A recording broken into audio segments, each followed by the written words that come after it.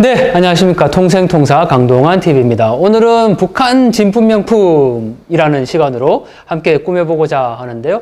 북한의 미술 작품입니다. 그런데 흔히 이 모습을 보면 십자수를 연상하실 텐데요. 십자수가 아니고 바로 새끼 손톱보다 훨씬 더 작은 조개를 붙여서 만든 북한의 미술 작품입니다. 조개라고 믿겨지지 않으신다고요? 직접 보시겠습니까? 조금 더 확대를 해서 보시면 지금 보고 계시는 부분이 호랑이의 얼굴 부분인데 확대해보면 조개 맞죠? 새끼 손톱보다 훨씬 더 작은 조개를 일일이 붙여서 만든 북한의 미술 작품입니다. 여기 조선 평양 최명실이라고 작가의 이름까지 붙어 있는데요.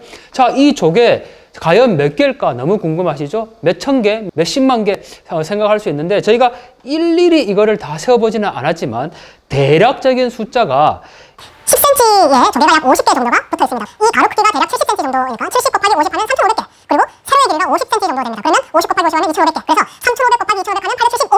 조개가 여기에 붙어 있습니다. 자, 저희가 왜 갑자기 북한의 미술 작품을 소개하느냐?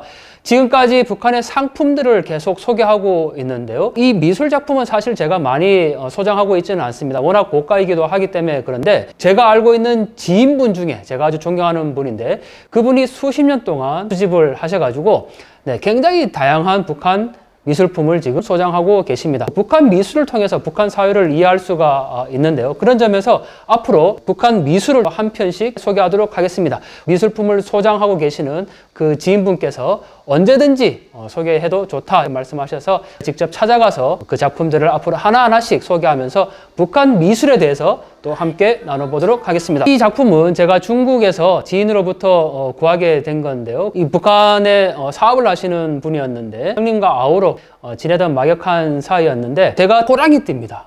그래서 형님 앞으로 잘 호랑이처럼 웅비하시라 이런 마음으로 그분이 저에게 주셨는데 아 중국에서 가져오기 너무 힘들었습니다. 하지만 북한의 작품을 어, 걸어두고 또 늘 이렇게 호랑이처럼 날쌘 기상으로 어, 통일을 위해서 나아가고 하는 그런 마음들을 늘 다지고 있는데요. 앞으로 북한 미술 살펴보도록 하겠습니다.